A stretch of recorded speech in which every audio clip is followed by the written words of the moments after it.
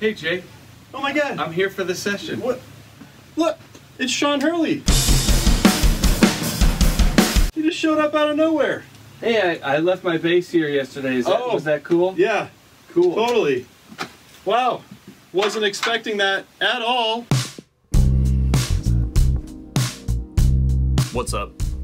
So, Sean Hurley's like one of my favorite bass players to get to play with, and he was gracious enough to come over and uh, do a session specifically for my YouTube channel. We get to do a lot of sessions together where it's just bass and drums, and we're tracking for another artist. So, we thought it would be fun to take you through basically what we do in a session like that. There's a ton of great Sean isms, truth bombs, and little nuggets of wisdom here and there. He's played on so many of my favorite records.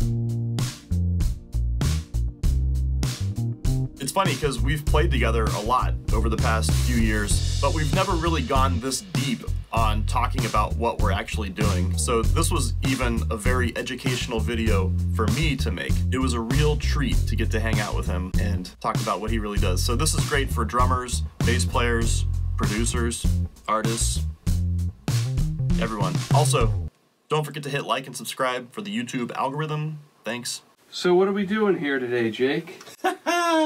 Funny you should ask. Actually, this is a song we just made up because there was a certain vibe we wanted to uh, demonstrate. Simple, but groovy. Simple lines intertwining. Intertwining. Tell me about your snare, Jake. I just got my deep snare out here, 8 by 14 wood something or other, a little bit of muffling on it. Does the thing. Righteous. Slight snare decay. I didn't choke it. Sometimes I choke the snares on purpose. Ah. But if you listen, I let it a little looser. Oh, I hear that. So you get that slight decay. little sizzle. Pairs well with a flat wound P bass. What do you got going there? This is the non-signed signature bass.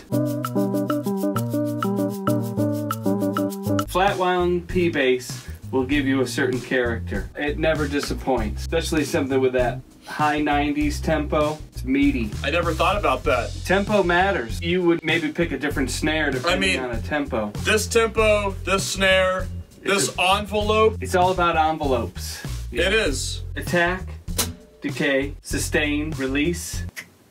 There's a lot of videos out there. All I know, that bass, this snare, match made in heaven. Ready? Nope.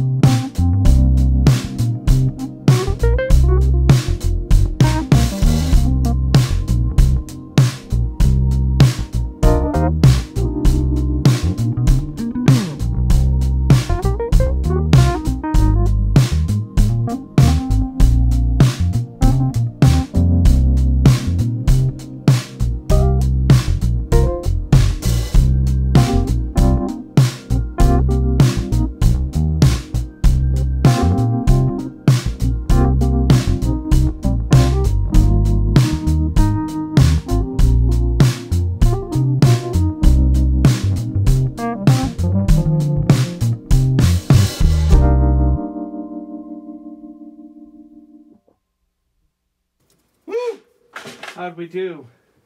That was fun.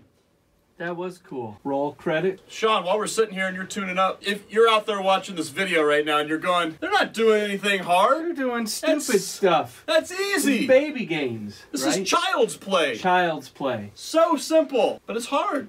This is not easy to do. I can see that you're working. I'm working hard over I here. know. Same thing. Fundamentals, man. Easier said than done. Speaking to bass players and drummers out there, how do you conceptualize this kind of groove? Because it's really simple. What's your concept here? Well, I'm trying to think. So when you're playing something simple, it's got to sound good and it's got to feel good because you got no other covering fire, no other things where like, hey, look at this, blah blah blah. blah. When you play fast, you can play it perfectly, but sometimes it goes by. It's hard to read. Like, was that right? So you review it. Oh yeah, it was perfect. But when you're playing this slow or this groovy or with this this many holes and gaps, every time you land, you've got to be dead on, or at least it's got to feel good. What's the syncopation that I'm going to be thinking about, even if I'm not playing it? Are you thinking eighth notes? I'm thinking Are you 16th thinking sixteenths? with with a little swing, trying to get the shoulders going. Broken up.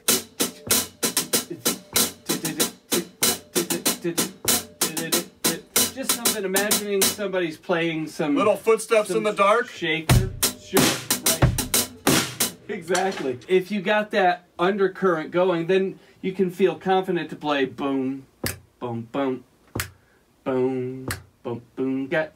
Oh, oh. It's something about being committed to something simple is so much better than playing something simple while you're trying to think of something more complex to play. I think that's the the benefit of like, you know what? I know that this simple thing is going to be where I hang my hat. So let's just dig into it and make it feel good. And it may be like, oh, we get it at the end of the take, so we go start again and pick up where we left off. So take three is the money, or take four, because we're like, you got to invest in yourself. You really have to be committed. If you're thinking about playing or you're waiting for your solo moment, you're not committed. My teacher, John Von Owen, he said, if you ever think of playing something, Don't. I totally buy that. We're not really thinking of what we're playing. We're just playing like, does this feel good? If so, don't disrupt it. You should be able to drop in at any time. Whatever groove we're setting sail on, it should be the same. It should be landing in the same spot. It should feel good. Measure three should be as groovy as measure 27. That's right, the groove is still going at this moment. Right. I'm still grooving on it. Mm-mm. If you're not dancing, you're not grooving. Same thing on drums. I'm just trying to find something that feels good and commit to that feeling. which I think is more challenging for drummers. Often it's like if you're not giving me a show, maybe I don't believe that you're awesome. So it can be more challenging for you to like, no, I have everything I need between the hat, the kick, and the snare. And I can do everything with that if I'm just committed to excellence. Fundamentals, I think of sports every time this stuff comes up. Hike the ball, get it into the hands of the quarterback, and make an easy play Yep. and you will win games. But if you're going for a Hail Mary every time, like, what are we talking about? What are Yep. we doing? We're messing it up. I'm more of a baseball guy, so I'm always thinking about baseball. We're going for base hits here. Base Hits. Hits. You don't need to impress anyone with your fills. Early on, I played with some guys that could do amazing fills that would wow you. But then when it was like, okay, uh, everybody's warmed up, let's play the song. And it was like between beat one and two, I was like, oh, this sucks. Ever since seeing that, you know, 20 something years ago, I was like, I gotta be able to be awesome at the simple stuff. We can keep searching forever to try to increase our abilities and get better and have better ideas and stuff. But if we can't perfect the simple stuff, Yep. I got nothing to offer. I should add though, when we talk about feel and time, I'm not literally trying to play like a robot. Da, da, da, da, da, da, da. That doesn't feel good. No. Sometimes we might get a little tiny bit ahead, might get a little bit behind, might be playing right in the middle. If we do it together, subtle uh, discrepancies can be. It's it's what makes things human. That's Yeah. why you can tell when something's been cut and edited versus performed. Yeah. So And plus, I can also zoom in. I'll do this on my screen for everyone. I'll zoom in on like a kick drum and your bass note. that's where the money. A lot of people think the bass and the kick drum have to hit at the exact same time, but that's not the goal. The goal is to make a feel, and again, it's the envelope. So a lot of times you see the kick drum happen, And then you see the bass note happening after that. Just a little bit. This is like happening in, in milliseconds, but you hear the bass note that came in just after the kick transient. Okay, real quick, I also want to add that this is not universally true. Like, the bass is not always going to be right behind the kick drum. If you listen to a lot of classic jazz recordings, especially like with Ray Brown, he's clearly playing on top of the beat, slightly ahead. And that's what makes it swing. That's why it feels so good. It's all about the feeling, right? Every style of music has its own feel. So, just talking about this one specific groove that we're doing here. And if we miss a note here and there, whatever. Well, listen to the old records. You have to do a lot of takes to get it perfect or you cut in. So we use the benefit of technology. If there's one errant kick or one errant bass note, I know. let's correct it. It's no shame in that. Save. Here we go.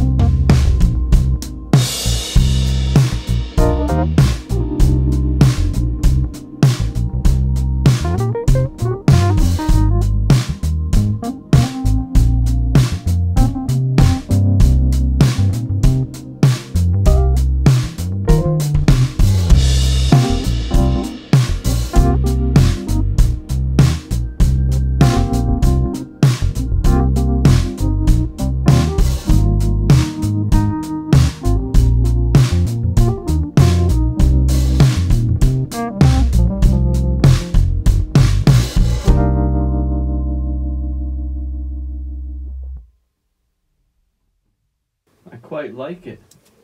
It felt good to me. And then there was some nice moments where we didn't fill at the same time. Like one of your fill moments, I could kind of sense it coming, so I decided like don't go up because you were going to do something more powerful with the tom thing. It's in there. And I was like, oh, I'm glad. It's like trying to walk in this door at the same time. I think that happened because you had just done something. Right. I was like, I know Sean's not going to play something in And this then hole. Boop, boop, ta, doom, I wouldn't say that that's thinking about it. There's like a non-verbal thing that happens. Right. It's feeling it. You got to make intuitive decisions while you're playing. Right. That's what's happening. Peter Erskine, I used to take a lot of lessons with Oh, him. who's that? He played with this guy named Jaco, who, by the way, he didn't write out any of his solos. He improvised. I believe He knew that. how to improvise. Yeah, he was a great improviser. Peter once, there was a great Jaco line. He said, Hey man, Stop thinking so much and just concentrate. That is kind of perfect. Yeah.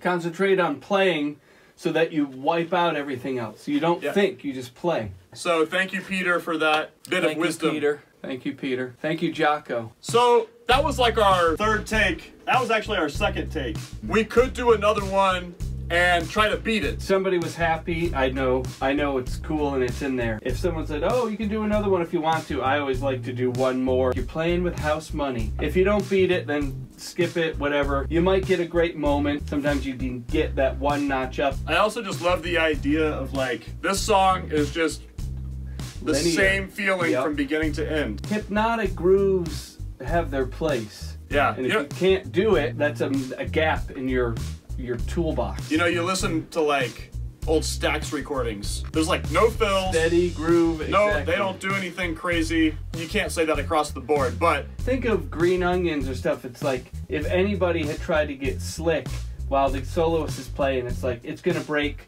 Yeah. the hypnotic thing. Yeah. Yeah. doo. Just let it go, man. like even in this song, I'm not playing anything fast or No. busy if it's a fill.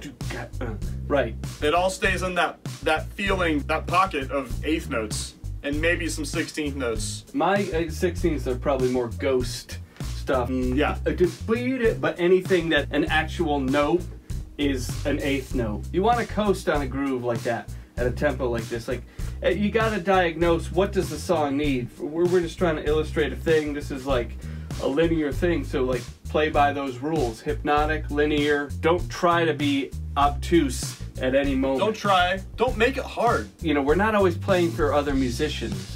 And in fact, often we're not. Don't try to make it more complex than it needs to be. You've already done all the study. You don't have to prove your worth and your musical education in every song. Should we try one more to beat it? Let's do one more. Ready? Yep. Here we go. Here we go. One more take. One more take. That house money take. Oh, it's a money take, all right. Ready? Yep.